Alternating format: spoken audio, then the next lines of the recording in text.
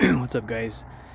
Uh, I decided to. Uh, I just came back from like doing a bunch of errands and stuff, and then um, I oiled this. Uh, so there's a pin here and a pin here, and you just push them out from the other side, and then the lower and the upper um, come apart from each other, like along this line right here. And uh, so yeah, I, there's only like a couple spots you can put oil. I added some grease to a different area. Um, which may or may not help me, or I, I don't know. It's probably not going to do much, but it's just a BB gun. So yeah, this is the Crosman DPMS SBR uh, 4.5 millimeter BB gun. Um, it just uses normal like steel BBs. Um, I've never tried using iron or copper, but the instructions say to use steel BBs, so I'm using steel BBs, and then I'll be using uh, just 12 gram cartridges each magazine can hold two cartridges, so you can get a lot of shots out of one mag, but I typically only run one CO2 cartridge because that, that option is available. I'm gonna put this camera down really quick. So I believe that this particular model is discontinued now. I think it came out um, like 2018 or 2019. I got it as a gift in uh, 2022. Um, so yeah, the timeline of me getting like less lethal launchers and BB guns and stuff, I got my Byrna SD first, and then I got that was like in like March of 2022, and then I got my Byrna TCR in uh, like August of 2022, and then in like November or October of 2022, I got this thing, and then um, I hadn't bought anything until this year so for the for the past like two two and a half years almost, I guess, yeah, pretty much like two years, I haven't gotten anything since this. But since this, I've got the Salt Supply S2 in uh, February of 2024, and then I got the uh, HDB shotgun, I think like in March of 2024, and then a couple like a month later, I got my TR68 uh, the big old revolver thing, and then I got the HDP 50s and the TR 50s just because my interest in this has gone up a lot. But anyways, um, these are the magazines. The little covers go right here, and uh, each of them comes with um, a little Allen wrench, so you can uh, set the CO2 into the uh, respected area. So you, you want to load the, the left side in first, and it even says first right here it's like engraved on the metal. Um, I don't. I've never tried putting it in second, like the. I never tried doing it that way. It probably will just leak everywhere. I have no idea what happens, but I always just load in one typically. Every once in a while, I'll load two, but you just get more shots. I don't think it any. I don't think it adds any um, power or speed to the paint uh, to the uh, BBs. But um, yeah, I usually just do one, and then um, you load them up in this follower you pull this uh, like spring thing down and then it goes uh, it gets stuck in this little notch down here and then you can load BBs right here. I have a uh, speed loader that this came with so I'm gonna um, put the camera down real quick and then just load up some mags.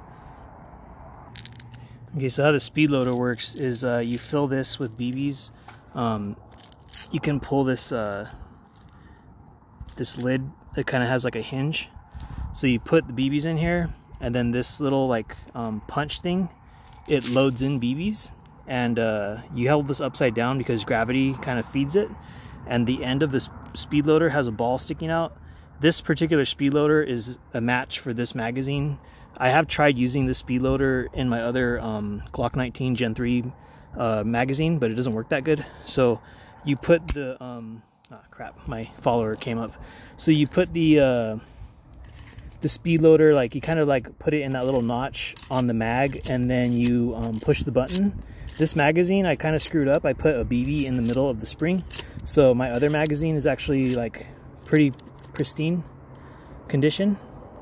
So yeah this one is good now. So um, you put this thing right here and then you push this button down and it, it loads BBs into this uh, little like I'm trying to do this on one hand or you know I can't do this very good because camera's right here and like on camera I can't do this very good but off camera this would only take like two seconds. So yeah this thing's all loaded up now. You can see all the BBs in there. And then you just push this uh, follower spring back and it puts pressure. It's pushing the balls down and it's feeding them into here. And this part goes uh, this is like the front of the magazine. I put oil on this uh, little seal right here and then you just place it in here. Um, I pierced the CO2 cartridge that's in here. Basically it looks like this but there's a uh, CO2 cartridge on the left side and uh, I tightened it down with the Allen key and then it hisses for like a second. It's pretty similar to like the uh, FSC or if you have uh, one of those Brodax um, CO2 BB pistols or the uh, any of the Glock ones I think when you pierce the uh, cartridge you need a key an Allen key and you twist it and then it puts pressure and there's a little uh, like needle and seal up there and that punctures the uh, CO2 cartridge. So I'm going to uh, pull this back and charge the weapon um, like put a, uh, a round in the chamber. I have a target right there. I'm not sure how far that away, away that is. It's not that far. It's probably 10 feet or something. But I'm not really going for distance or nothing and uh, the last time I shot this every once in a while I'd have an issue with um, it not wanting to fire a BB um, maybe since I oiled it, it's a little bit better. But right now I have it on uh, semi-automatic and I'm just gonna shoot a couple shots and uh, just give me one second. I'm just trying to aim and get a good camera angle.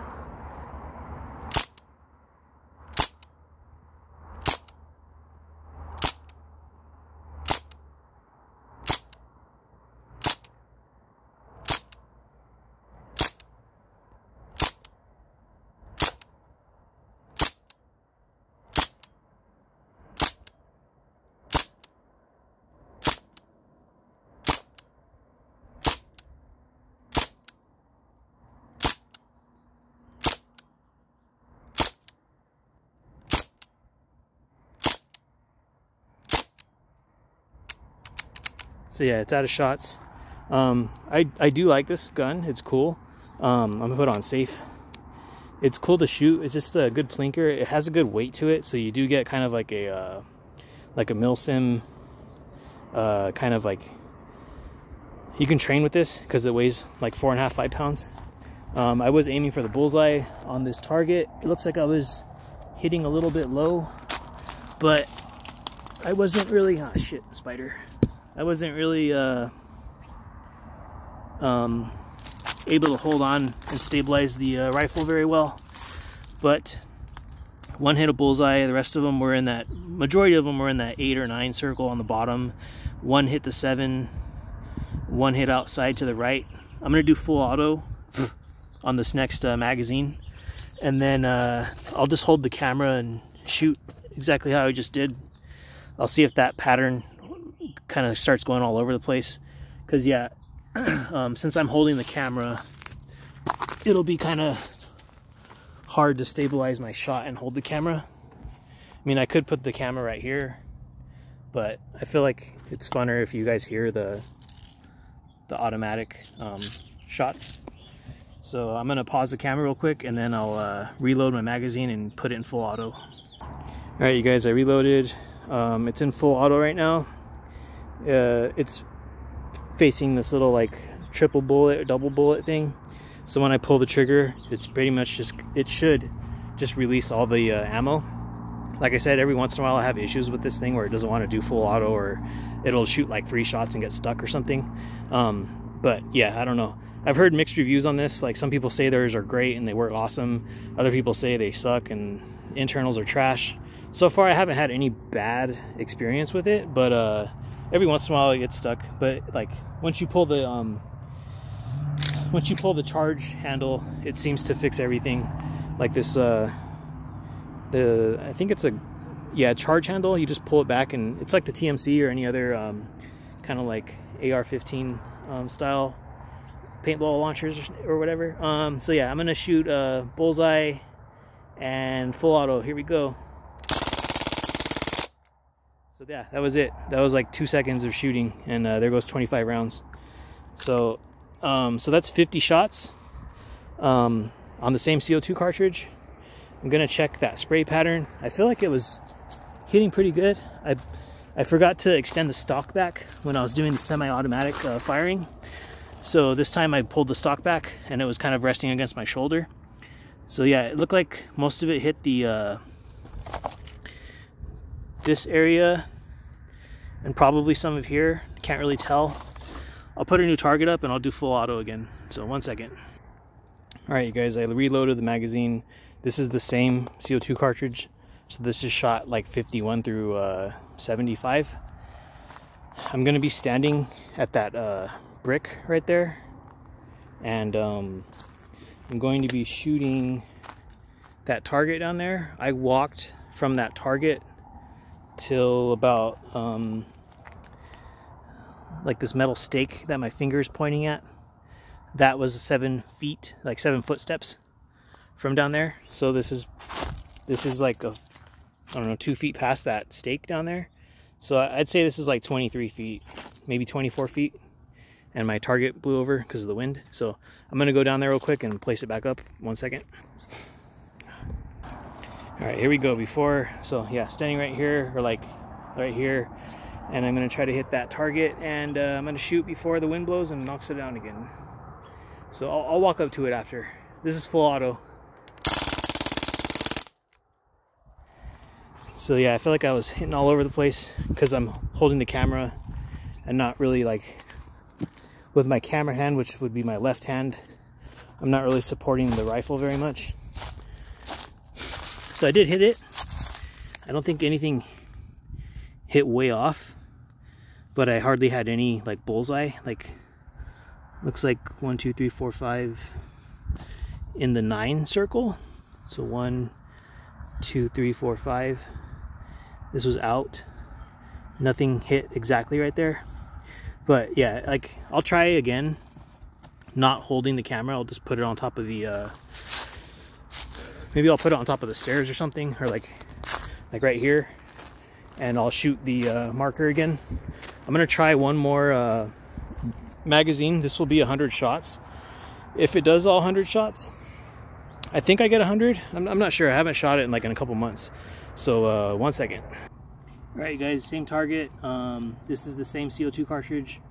So if this works it'll be 100 shots on one 12 gram cartridge with the BB gun so yeah, I'm I'm gonna be standing like um, from this camera. I'm like three three feet away from the camera, but I put the camera down so I can try to steady my aim. This is the same target, so it just fell over. So one second. All right, here we go.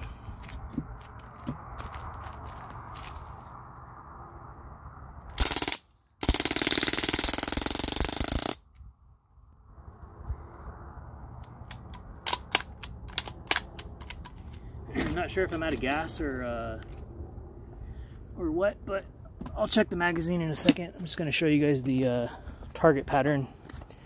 Um,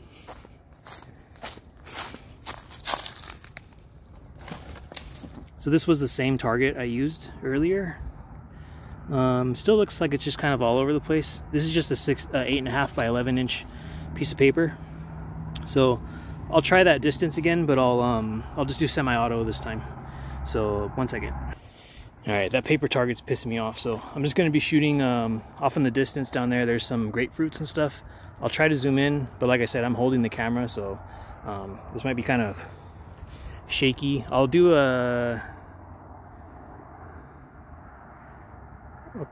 I'll do like a 3x zoom because I feel like if I do any further, it'll be too shaky and it'll, yeah, it'll be like annoying to watch this so uh, if it isn't already annoying to watch this so this is semi-automatic and I am trying to hit that grapefruit on the camera screen right here so. I think my gas is out. I'm gonna switch the gas cartridge. All right replace the gas cartridge. I'm going to uh, charge this. Sorry it's so shaky. And uh, yeah I'm shooting for that grapefruit on the screen. Uh, yeah over there. It's pretty far away it's on semi-automatic. This is the grapefruit I've been shooting for a couple days now, so with BBs. So I don't know, uh, aside from seeing leaves fly everywhere, or if you can actually see these BBs traveling down range, uh, I won't be able to know like which ones are new or whatever.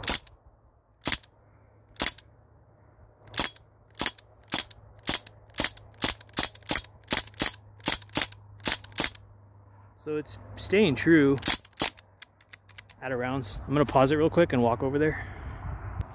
So yeah, it's definitely keeping uh keeping aim pretty good. I could see some of the BBs flying down here.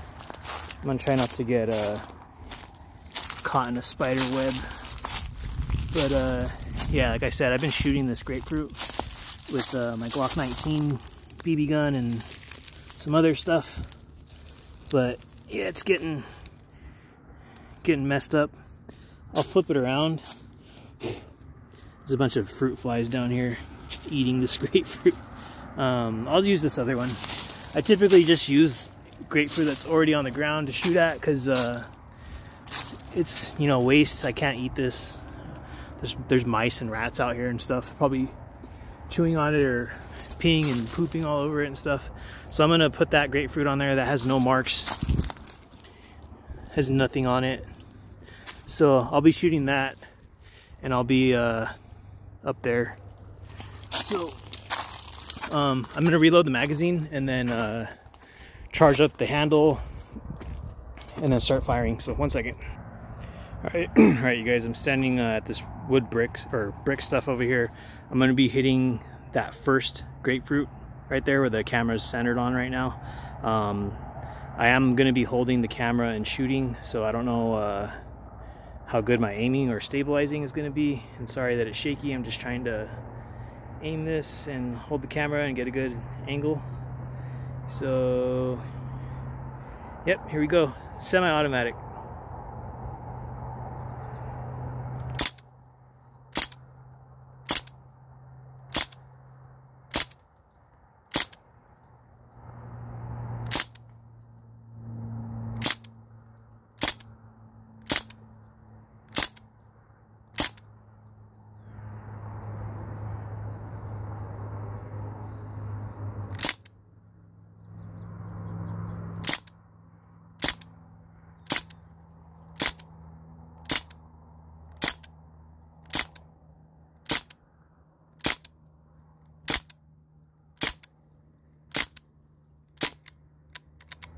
Out of shots. I think uh, the first 10 shots, my hand kind of moved and the camera lost its view of that fruit. So sorry about that.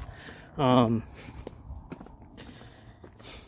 just gonna show you how many times this thing got pegged. Kind of smells like grapefruit over here. I could kind of see some of the zest and stuff flying off of it. It was either that or uh, or dirt. So there's one, maybe I just suck and I can't can't shoot it while holding the camera. So uh, I'm gonna try again. This thing looks like it. It doesn't look like that one over there where it's just riddled with holes. And there's obviously one right there. So I'll try shooting at it again. I'll just put the camera on the stairs and uh, have more stabilization when I'm shooting. So I'll be right back. All right, guys. Um, camera's on the stairs. I'm gonna be shooting. Uh, the grapefruit on the bottom of the screen. And uh, this should be better um, aiming accuracy wise so here we go. Semi-automatic.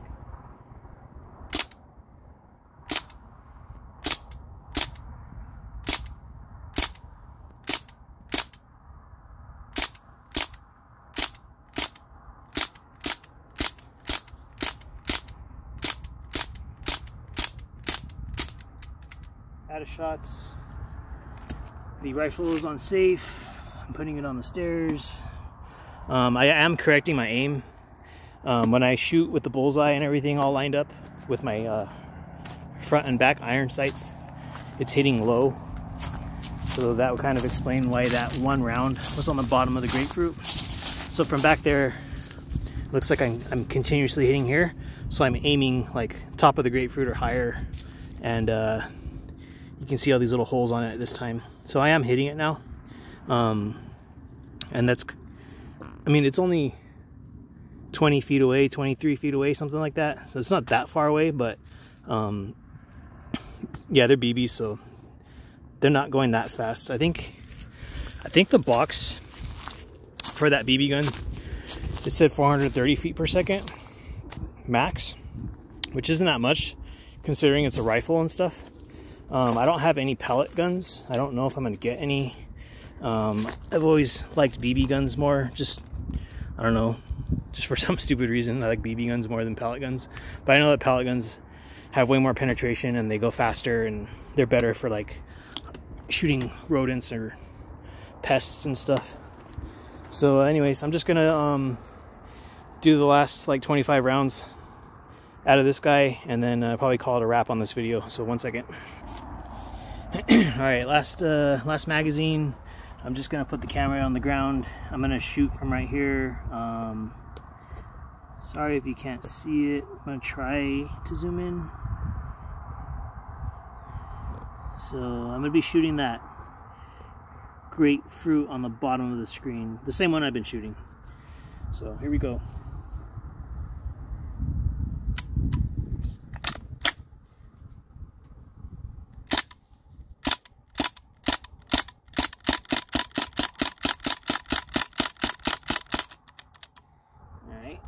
So that's it for that magazine. Um, I think I might have a few more shots in that CO2 cartridge, but I'll probably just waste it off camera. That was the fourth mag, so I feel like I won't get very much more out of that, or the uh, shots will be super slow. Um, I don't have my chronograph with me, it's in the house, but I wasn't planning on chronographing any of this. Um, but yeah, it looks like there's more holes on it. Uh, and I was aiming a little bit high because of like the drop. Um, but yeah, anyways, um, I'll maybe I'll chrono these or something at some point. Um, I mean, like I said, they're just BB guns. I wouldn't really use these in a uh, like home defense thing. I mainly just use them just to plink shoot or to uh, like if I see like a coyote or something, I'll use this or uh, um, one of my uh, paintball markers, the the modified ones. But yeah, this thing looks cool. Um, really high quality, like craftsmanship. Um, but the only thing I've seen about it is that the internals are garbage. Like I guess the barrel and the spring and the seals and stuff are kind of crappy. Um, the stock does expand. Um, I don't know if you can buy these anywhere. Probably like eBay or like maybe Amazon. But yeah, this is what it's called. It's a DPMS SBR from Panther Arms slash Crosman. um, and it's it's customizable like where you can put accessories on stuff on it. I don't know if you can do much other than that. Like i've never seen anybody do barrel swaps. I haven't really looked into it but i don't think you can change the stock. Like you can't change this.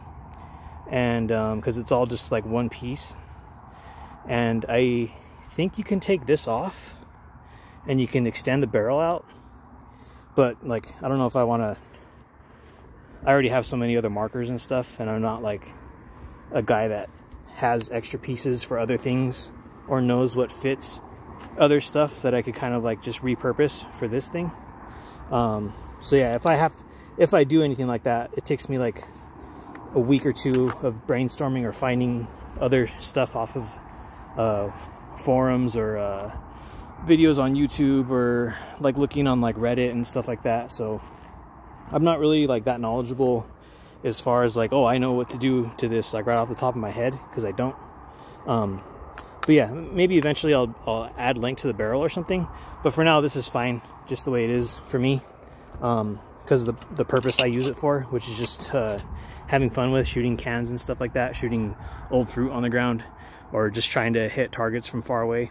Um, so yeah, this was the uh, like full automatic spray pattern. Um, you can only shoot for like a second or two on full auto because it only holds 25 rounds and then the whole uh, magazine spent. I do have two magazines, so I can like shoot full auto, swap out, swap out a magazine, put it in there, do another full auto. But then I have to reload with this thing, and this thing isn't slow, but you have to push this button um, like five or six times, depending how many BBs catch in it and push out. And uh, yeah, it'll probably take you like at least 20 or 30 seconds to reload these with that. But it's a lot faster than doing one at a time, pushing it in there one, and then letting it drop and putting it in there. And yeah, it's it's way faster. So this thing came with my SBR. Um, if you buy it used or something, you probably won't get that, or you might only get one magazine. I don't know, but uh, I think they make something called the AK1 and the R1 and something else now that are kind of like the new models, new upgraded like models of this. Um, I don't know what the differences are aside from this thing weighs like four and a half, five pounds, so it's not light. Um, I think the R1 is lighter than this, and it's more plasticky. Um, yeah, that's all. That's all I really know about it. I don't know too much more. A lot of the stuff is fake. The only thing that's real is uh, this little window thing, breech window, and uh, the magazine release like actually pushes, and the um, fire selector is like real and this is fake this charge handle is real and then like the sights are real. And this came on it. This is stock. Um, I tried putting this on the TCR Byrna TCR but see how it's flat right here and then it goes up?